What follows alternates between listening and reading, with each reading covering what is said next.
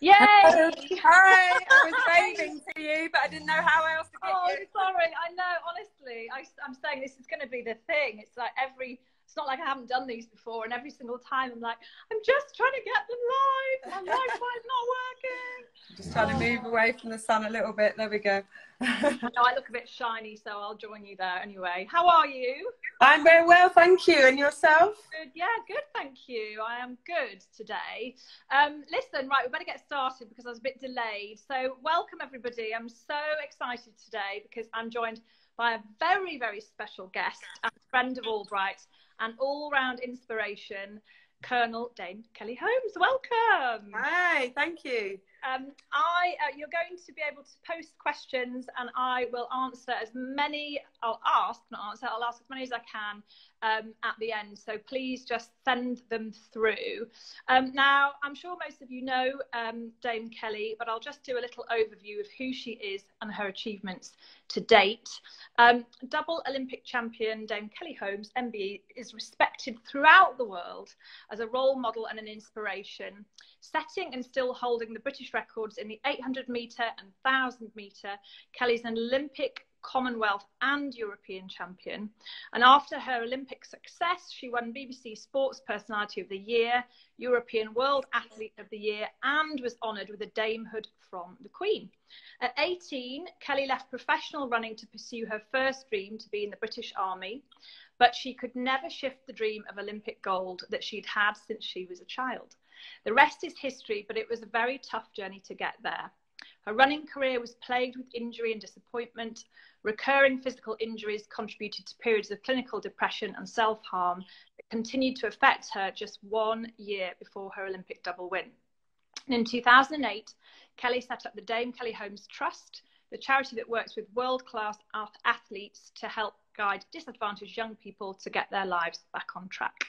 Kelly, you are an absolute inspiration. We've spoken a few times before, and actually, I, I did say to you earlier if I go through your um, all your history, I could be at this for a good sort of the whole afternoon, basically. So I thought I'd give a quick praise to you because um, we're here today to talk about positive mindset.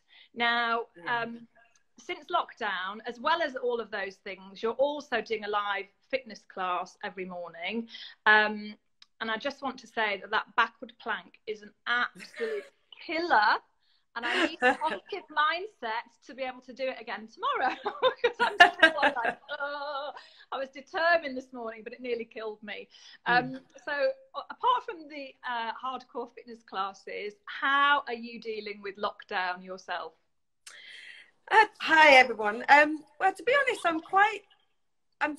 I'm feeling I'm getting the hang of it now. I was actually in New York when all this really kicked off, and I was there when Broadway shut down, and then suddenly, you know, everything was still, everything else was open, and I was still going to restaurants, and then suddenly we were getting word that we've got to kind of get home because you're going to get the last flight home, and it all sort of went a bit mad. And I think that initial shock that everyone's felt was the same with me because suddenly jobs were getting cancelled. You know, I do live big events on stage at conferences and outdoor events, and they were either getting cancelled or postponed. And then you were just like, okay, so what's going on? And I think it was a little bit of a yeah, just that shock period of this is like a movie. I still feels a little bit like a movie, to be honest. yeah, because you've been in it, of course. But um, yeah, so and then it would i'm i feel like i'm yeah getting the hang of what i've kind of structured for myself and actually i'm quite enjoying being at home to be honest I know, I'm hardly ever home, so this has been like a miracle. Yeah, hanging out with the llamas. oh yeah, the alpaca boys. Yes, I go live with them every morning at eight o'clock, and that's given some people a bit of you know kind of breathing time and calm because they are very strange animals. oh, I love that. I love the thought of that. That's brilliant.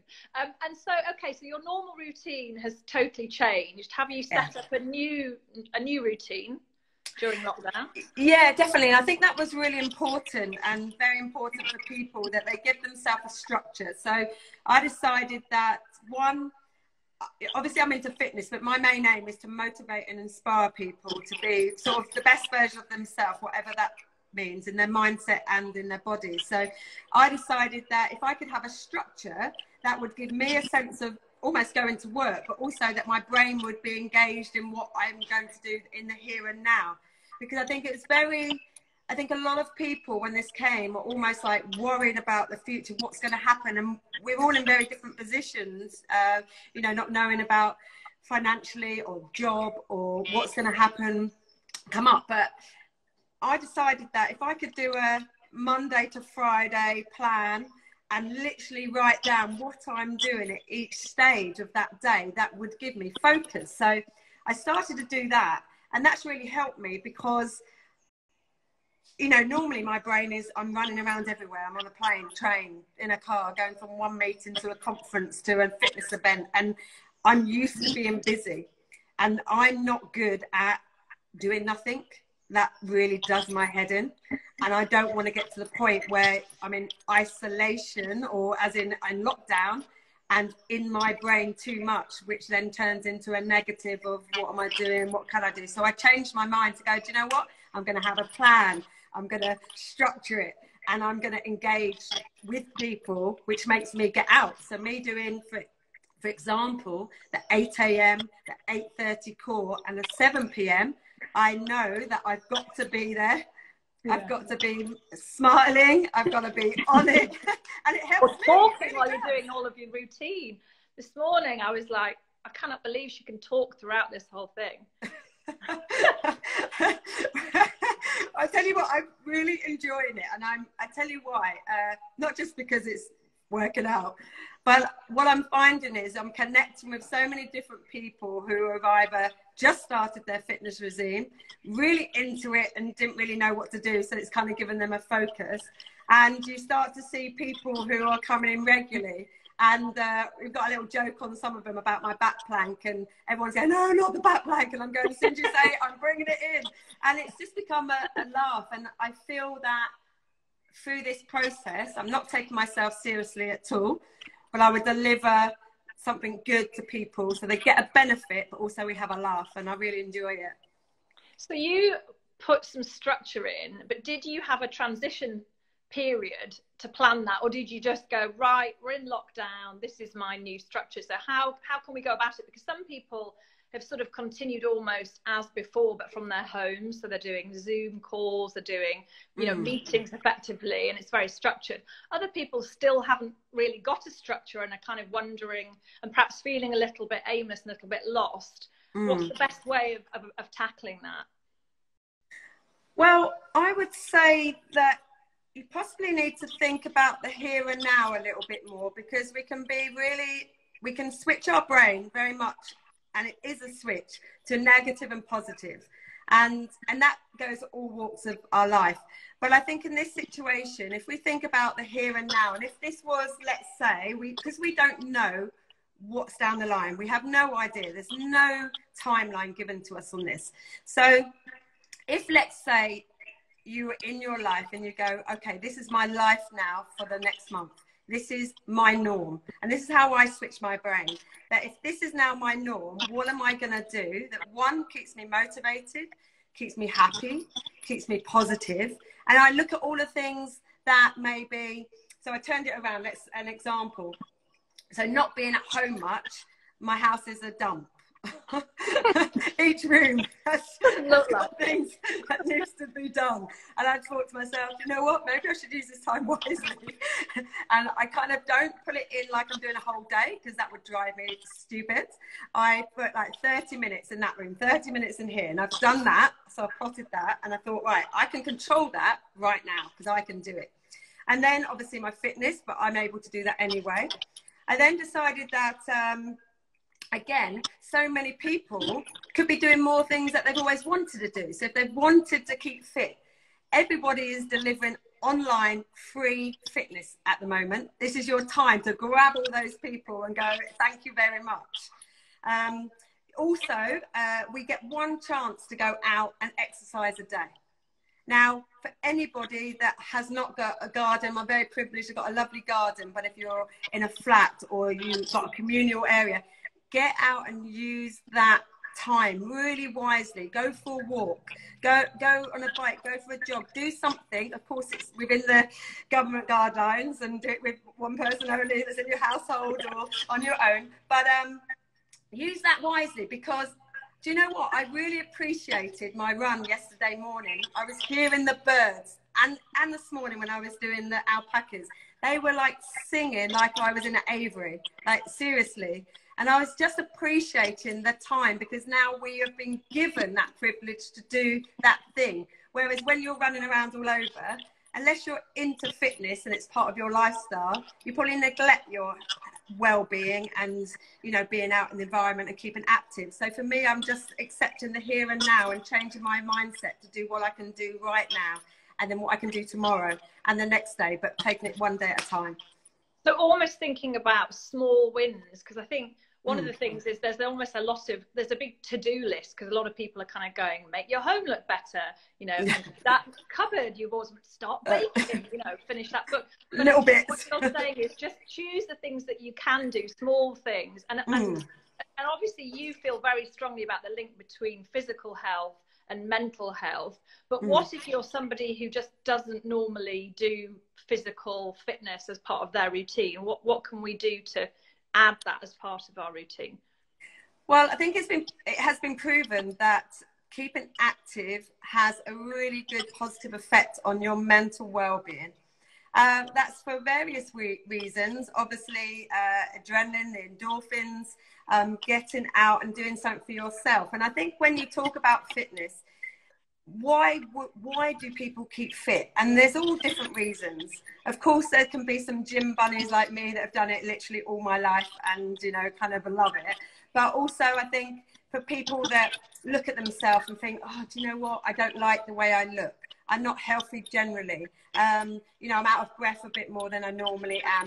All of these reasons are actually we know why fitness is important from a physical point of view. People get Men- mental health mental well-being, as we know, it can affect one in four people in society. And that's probably just proven people diagnosed. That means that so many more of us are either hit with something like anxiety or stress, but don't relate that to a real mental health problem because actually there's that education and understanding that's needed around mental health and what those really mean and what de- being depressed means. But the link between physical activity and feeling good about you is so strong because I'm telling you, if you go out, and especially right now, and it doesn't matter where you are, there's no pollution, there's a lot less human beings around, and you can go out and have you time where you can reflect, where you can think some positive attitudes. And I, I there's one thing I've been bringing into um, this little routine is having a word PAT so I say to people, have pat on your shoulder. It can be a man or a woman, doesn't matter. And pat stands for positive attitude today. So I wake up with pat. Or I have positive attitude time when I'm actually thinking a bit like, oh, do you know what? I because I go through that as well. I have to say, you know, I am a positive person. I have a positive attitude, but some days I question: Am I giving too much of myself and you think to yourself for your future where's the return and there is something like that sometimes because in my world you know i interact i like i say i stand on stage companies book me to go and talk and yeah. you want to feel like you're giving the best bits of you so i have like this bit where in my head i might doubt what I'm doing now. Am I doing it in the right way to approach, you know, what I'm trying to do? So I pat and I go, oh, on, flick, flick, flick the switch positive attitude. And I think something about myself that I like, that I do well, and that I know that makes me happy. And if I can do those three things at some stage during the day, it really lifts me. I absolutely love that because it's quite simple, but just something that we need to practice. I yeah. Suppose. And also, I'm quite interested in this whole. Um, there's lots of discussion at the moment about gratitude. You know, so thinking about what you feel grateful for, and that being a being positive. Is that something that you do. Obviously you're thinking about you know yourself and, and what you've done well but what about this notion of gratitude? Is that important as part of our sort of daily ritual? Oh absolutely. I think again we all need to find some of those things that we are content with what we really makes us feel good and makes us feel happy and that is it could be very very small or it could be the largest things that you've done and achieved or want. But you know i'm i'm i feel like especially at this time sometimes we need to look around ourselves and appreciate what we have done and where we've got to like right now. So we talk about the here and now. Look at your life you know. Are you ill right now? Are you in hospital right now especially with this coronavirus have you got your life and have you got your health and that's one thing i'm grateful for because there's so many people suffering out there right at this minute so mm. I'm very grateful to be in this position that I can be talking to you and be healthy and not like some of the families that are, are, devastated right at this moment. So I look at that and I think that's a simple thing to be grateful for, but I am really grateful.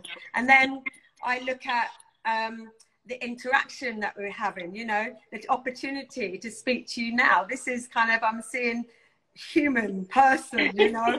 I'm, I'm reading some of the comments and seeing that and it's just a lovely way of uh, seeing people's appreciation of what you do. And connection's really important. One of the things that i am really grateful for actually and you can take the way social media and this in a good or a bad way i've tried to take it into a really positive way i've had zoom conferences calls and if anyone doesn't know about Zoom, look it up. It's the easiest way of connecting with your friends and family vis- visually and doing whatever you would love to do with them right now. So I've had quiz nights. I've had G and T nights. I had my, my sister's birthday night. I'm, I'm seeing my friends and family visually more than I ever do. And I'm really grateful for that. And so find things, all these little things that have now come into our lives that maybe we didn't do before or recognize, we just text somebody, you know, it's a quick hi, how are you doing? I'm now having time and talking to people. I love it. The, the other thing that I've been saying to people is, you know, if you are having a low point, it might just be a low day, it might be a low point in the day. Actually, I think using those groups to sort of say, you know what, I'm not feeling that great today yeah. um, is is actually what I found anyway is that people are much being much more open and also being a bit more helpful and a bit more sort of discursive about well I'm also having a bad day here's some things that I've tried and I, I think mm. it it feels like people are being a bit more open and honest as well as doing the kind of quiz nights and G and T's and so on which yeah. I yeah, I think you're right. I think this is a time where you can actually connect with people in a in a, a, different manner. So the other thing with mental health, two things that actually help your mental health. One is exercise, and one is talking, talk therapy they call it. So being able to open up, express how you feel, um, and trying to be as and not being honest as you can. Do you know what? Because I always say there's always at least one person, in every single person's life who, if you didn't say you were struggling to, would go, You know, I would have always been there for you. And I remember this when I um, first came out with my own mental health problems. I wrote it in my autobiography. I mean, not a place for your friends, your family to read it. And one of the things that really struck stuck with me over the years because that wasn't just a one-off occasion in 2003 when I became self-harm and depressed what happened was is that the feedback, well, feedback sounds really weird. Um, my friends and family were so upset, and I thought they were mad with me. And what they said is, they said, never, ever suffer on your own again because you know we're always here. And then when my mum passed away in 2017, I really suffered badly with bereavement. And this is another thing that people don't seem to talk enough about, and I really believe you should there's no timeline for bereavement, and I really, I was suffering quite badly. And the one thing that kept ringing in my ears is that I've got to call my friends, and I've got to. And my friends literally got on the phone, came round, and it was the best thing ever because even though I couldn't go out the house for three weeks, I didn't want to see anyone, I was crying every day constantly. When they come round, I just have a little bit of a laugh and a little bit of a smile. And mm. just that knowing they were there for me was so important. And I think during this time, do not feel alone. You know, it's so easy for people to feel isolated right now, especially if you're own, and even if you're just with your family, you know, because you don't normally live with your family 24 7. And I'm sure, oh boy. Everyone's having their moments, that's for sure. I'm sure everyone's having their moments. But you know what? There's still, on a very serious note, there's still, um, there's a lot of charities out there that have a really, a lot of helplines.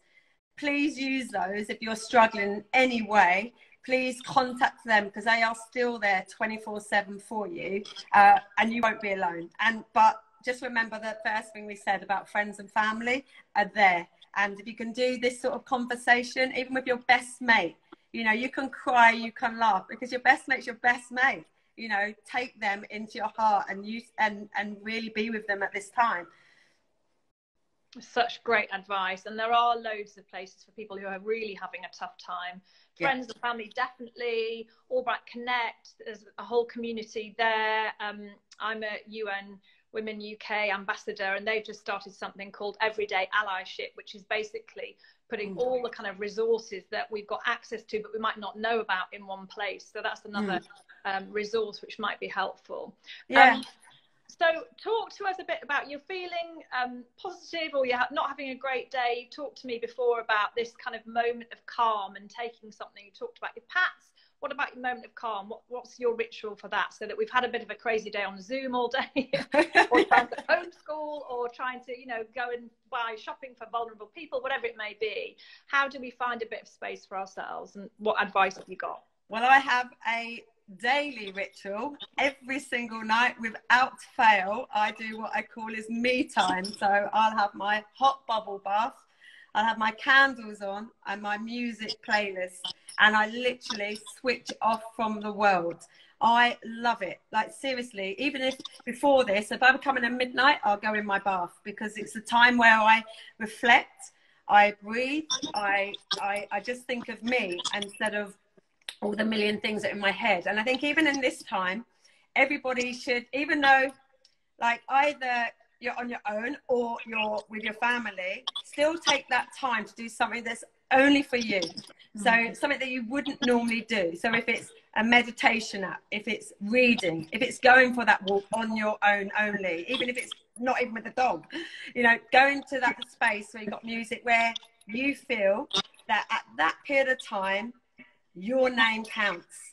You know, you are you because we live our own life. And too often we are living our life with and for other people because we're helping them, we're supporting them, we're talking to them. But this me time is mine. And I'm actually running out of tunes now. So if anyone can send me this, I've been doing this for months. I literally, I'll probably take half an hour before I've got in my bath to find the right songs to put up. Oh, I love. I love that. Uh, but also, I love the fact that that's your thing. That that's your moment to to switch yeah. off. Quite often, people, you know, they take that me time, they go and sort of lie down, and then their brain starts whirring like crazy. Mm-hmm. But again, it's it's habits, isn't it? It's forming habits and taking yeah. that space for yourself, which I think is really hard at the moment when everybody is crammed in, particularly if they're living in flats, and you know, it, it's difficult. But you can always lock the bathroom door. yes, you can lock the bathroom door. But you know, you don't have to be that. It could be any. It literally can be anything where you just take that time only on your own. If you're normally always watching telly, turn it off. If you're normally always on your phone, turn it off for 15 minutes. I'm bad at that. Um, you know, if there's just something that you just would love to normally just to do, and but you just don't think of it as part of it being for you because we go through again our days quite robotic. You know, we just kind of do it. We just you know, and uh, instead of actually thinking about why we're doing it, how we're doing it, how we feel about it, and maybe sometimes we just need to have that self reflection uh, on there. Well, that's really interesting because I've, um, I've got a couple of questions that have just come through here, and, and it's a nice segue into one, which is: Do you ever take time to self-reflect? What uh, What do you do when you need to hit the reset button, and, and do you ever need to? Yes, I do. Believe it or not. um, yeah, I do. The back um, plank, probably knowing you. Say again. With a back plank, knowing you. of course. Yeah, push them out. um, no, do you know what? Uh, so when I'm on stage and I'm talking, I always say to people that it's important that you look at things you've achieved in the past. When things are not going as well for you, or you've got that brick wall, that moment of self doubt, I believe everybody at some stage during their journey in their life has had that yes moment, you know, the pat on the back, like kind of, moment. And I call it like, come on, you know, I'm really kind of moving, thinking, oh, yeah. Um, everyone has had that in the past. And I think sometimes you have to look back and go, do you know what, what am I, what, what am I pleased with? What am I happy with? What made me feel good? And where did I feel in my life I've achieved? Because it's so easy when we're trying to move through life to be better and better and better, which we all are. Let's face it. We don't, you know, most of us want to still achieve in life something good where we feel like, oh, I'm really happy with. But when you hit those brick walls, take time. You know, you don't have to be changing things all the time.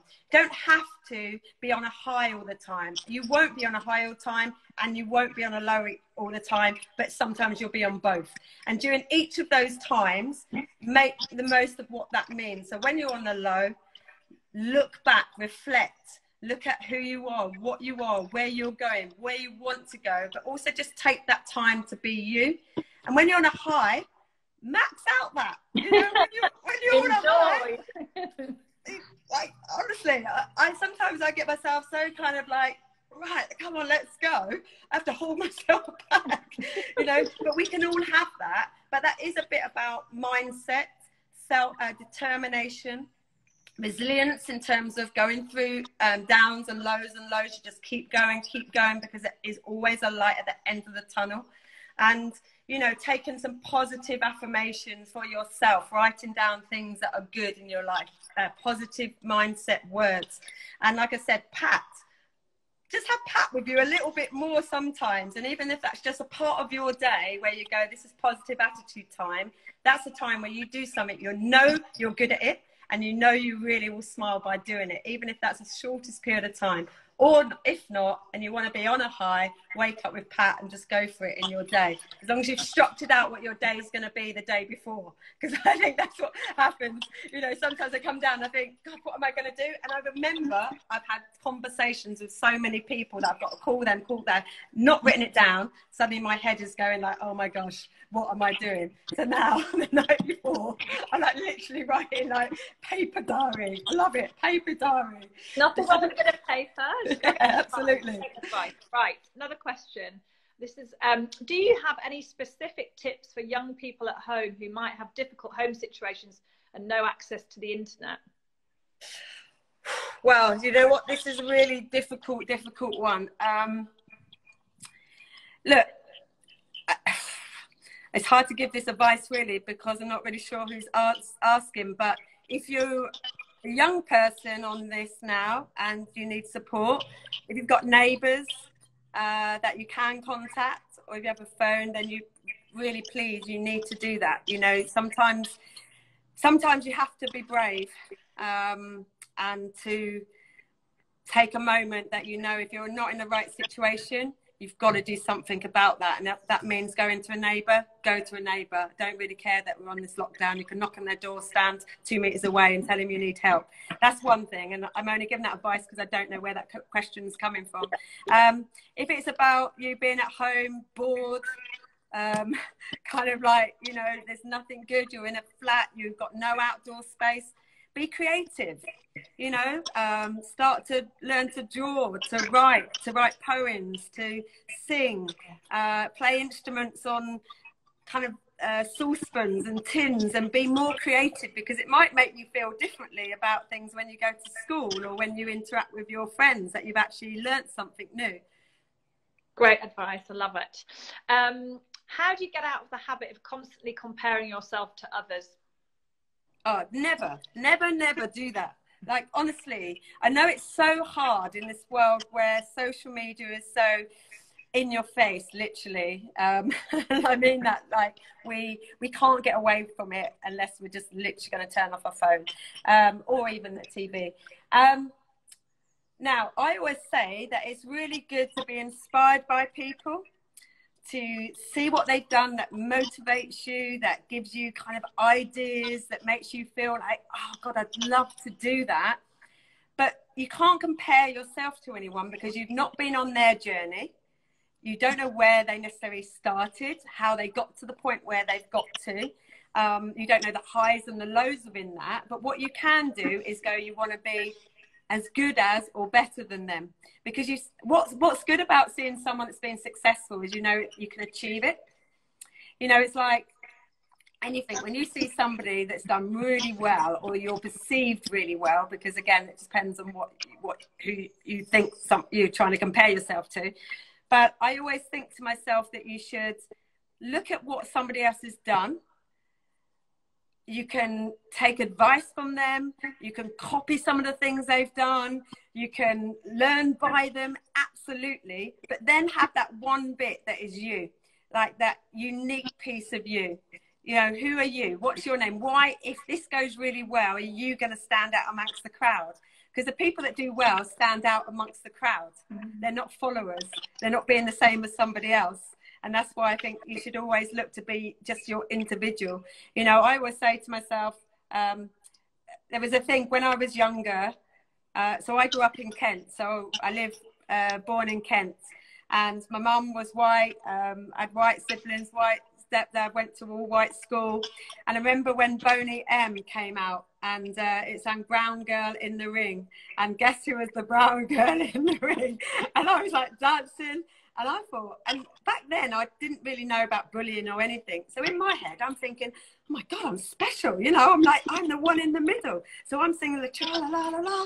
And do you know what? When I first then realised that people, people or young people could be nasty or, you know, kind of judge you, I just thought, you know what? No, I'm not necessarily different. I'm unique. And I kind of changed my wording to think, no, I'm going to be who I want to be, stand out amongst the crowd.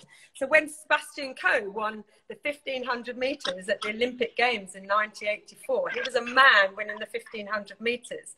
I was running 1500 meters. What that meant to me is it's possible for a British person to win an Olympic title. And so I looked at him as my role model in terms of where I wanted to go but I was never going to be Sebastian Coe. And I think that's what people should think. So take the elements. It's one of those specific things that you are looking at that someone else is doing or behaving like or have got or, you know, their job or whatever it may be and think yeah. it's that because to your point, nobody understands fully someone's life you know everything all the different elements of their life and so and also social media just tells its own uh, unique story, I would say. It really does. You know, I mean, some great things about looking at people because it can give you ideas and it can inspire you. You know, I've met so many people when I've come to AllBright. You know, when I came to the awards the other day, I was blown away by people's achievements. You know, I would never have had the chance to even see who they were. And you'd look at them and think, wow, you're pretty good. And then you, you look at yourself and you just think, have I done as much? And then somebody else, if I said, oh my god, I don't think I've done anything like that. They'd be going, you crazy, you know. you can be inspired by people, and it can make your mind change to think, oh, actually, I quite like a little bit of that, or try it out. But you shouldn't have to want to be that person. Oh, amazing, amazing advice. Okay, so we've got Pats. We need to do that. Yes. We need to look me at time. Me time. Compare ourselves to others, but only if it's going to be a catalyst for change. Yes. Take time to form habits, new habits every day.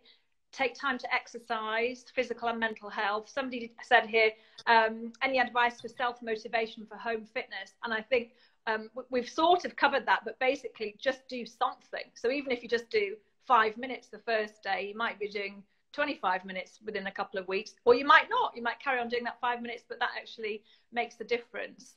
Um, yeah, and try, sorry, just a quick one. Try something new all the time as well because you'll actually find something you like. The thing is with fitness is we're not all the same. We all enjoy different things. So there's so much online at the moment that you can follow on YouTube. Just try something out and I swear one one of the times you try something you go, "Oh, hello, I like that." Yeah, yeah, yeah. There's so many different things. I try I was doing boxing yesterday, which was uh, which, which was fun. Um, awesome. someone has said, just before I finish, someone has said, um, is your fitness on your Instagram? It is, and it's 8.30 every morning, isn't it, on your live? Yeah, so I've got 8.30 in the morning, um, core and uh, abs, and then I've got uh, 7 o'clock, so 7 o'clock tonight, I have a HIIT legs workout. So if you want to really be busted, oh. um, come and join that. oh, oh, might do, might give myself a break and do that tomorrow. Thank you. Thank you so much, Kelly. It's always an absolute pleasure there are comments that are flying through here. I think everyone has really, really enjoyed it. Thank you so Thank much. You. And make sure um, you tune in again on Instagram Live tomorrow at three, not three thirty, where my co-founder Debbie Wosskow is in conversation with Julia Samuel MBE, and they're going to explore um, how we can learn to adapt and thrive during our most difficult and transformative experiences. Um, do get in touch if there are other themes that you would like us to explore. Um, and if you miss any of the events, they are up on um, Instagram, on stories, and you can also find them on AllBright Connect. Um, so brilliant. Thank you. i have got lots of ideas now for the back of that talk. So um, enjoy the awesome. sunny afternoon behind you there. Through yes, hello. Can hear the birds still. Amazing. Um, and thank you all and enjoy the rest of your day. Yeah, thanks everybody. And thanks, Anne. Bye. Thank you. See you again soon. Bye. Soon. Bye.